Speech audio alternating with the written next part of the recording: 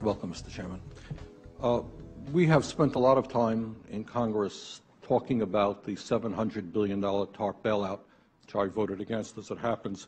Not a whole lot has been talked about uh, with regard to the $2.2 trillion that the Fed has lent out.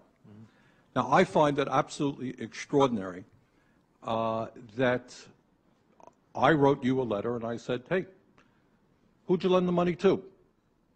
What were the terms of those loans? How can my constituents in Vermont get some of that money? Who makes the decisions? Do you guys sit around in a room? Do you make it? Are there conflicts of interest?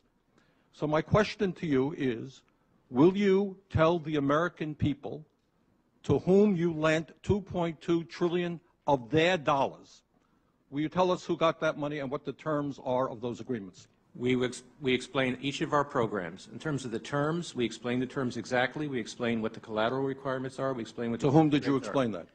It's, it's on our website. Yeah, okay. So all that information is available uh, in our commercial paper And program. who got the money? Hundreds and hundreds of banks. Any bank or that has uh, access to the U.S. Uh, Federal Reserve's Will you tell us who they are? No, because the reason that is counterproductive and will destroy the value of the program is that banks will not come to the Oh. Isn't that too bad? Sorry. In other words, isn't that too bad? They took the money, but they don't want to be public about the fact that they received it. We heard a whole lot about AIG. They're on the front pages. These are very Now, I got banks and I have businesses in the state of Vermont who are in a lot of trouble. Not banks. Our banks, by the way, are doing pretty well. Now, how do these guys who are honest business people get it? Do you have to be a large, greedy, reckless financial institution to apply for these monies? There is no subsidy, there is no capital involved, there is no gift involved. It is a collateralized, short-term liquid loan that is both over-collateralized and is recourse to the company itself. We have never lost a penny doing it. And how can other institutions make, get, get uh, those loans as well?